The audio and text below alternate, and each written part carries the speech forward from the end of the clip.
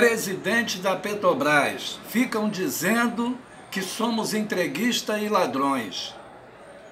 Pega eu que eu sou ladrão. O presidente da Petrobras, Castelo Branco, em audiência pública no Congresso Nacional, dá um show de cinismo e de contradições.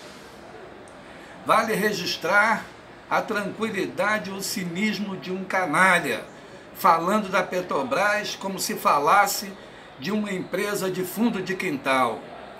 Ele disse que está tirando a Petrobras da Bahia por conta da baixa produtividade e que o prédio sede tem um custo alto. O mesmo fala de toda a Petrobras no Nordeste, segundo o presidente, fadada a fechamento. Na verdade, Bolsonaro, que falou em fuzilar a FHC por vender a Vale do Rio Doce e reservas petrolíferas, faz na Petrobras o mesmo que fez o Tucano, FHC. Aliás, o que os ex-presidentes da empresa, o Tucano Pedro Parente e Castelo Branco faz é aplicar a tese do senador corrupto, o Tucano José Serra. A tese de Serra é que a Petrobras deve ser uma empresa só de exploração e produção de petróleo, pois isso ela faz muito bem. Na verdade, é a mesmice da tese de sermos eternos fornecedores de matéria-prima. Vamos produzir e vender petróleo e importar diesel, gasolina, produtos petroquímicos e etc.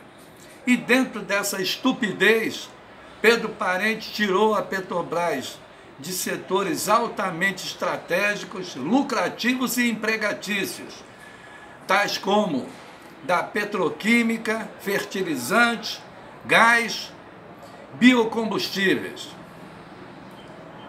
O tucano José Serra, quando candidato à presidência em 2009, foi flagrado pelo Wikileaks oferecendo vantagens à petroleira estadunidense Chevron em prejuízo da Petrobras. Agora, na surdina, Serra apresenta projeto que desobriga Petrobras de participar do pré-sal.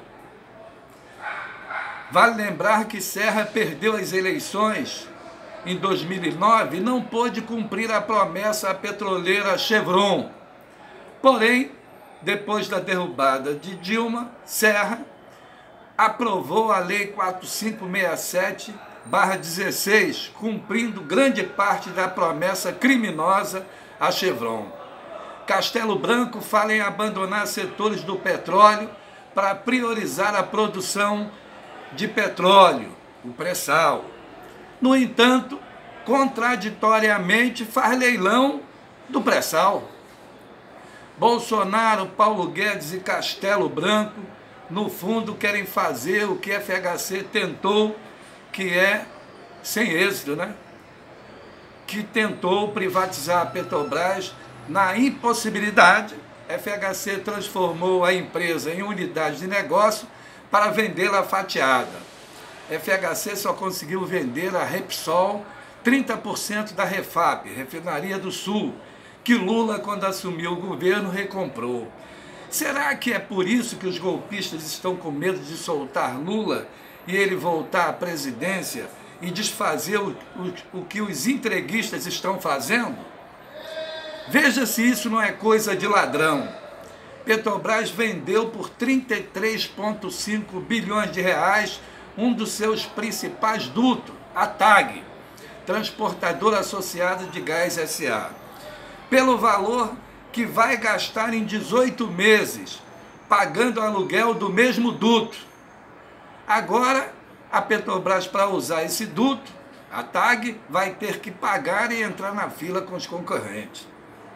Vê se alguém venderia um patrimônio próprio como fez Pedro Parente, com o silêncio abissal da Lava Jato que investiga a Petrobras.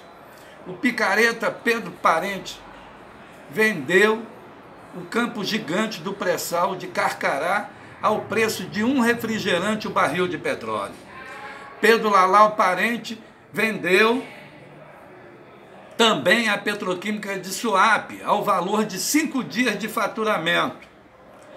Para provar que são bandidos os que estão dirigindo a Petrobras e a Petros, a Petrobras fez 66 anos cumprindo a promessa de abastecer ininterruptamente todo o país de combustíveis. Fez mais, desenvolveu tecnologia inédita no mundo que permitiu a descoberta do pré-sal. O pré-sal é a maior descoberta de petróleo no mundo contemporâneo. Pois saiba, os petroleiros ativos e aposentados, ao invés de prêmio, estão pagando,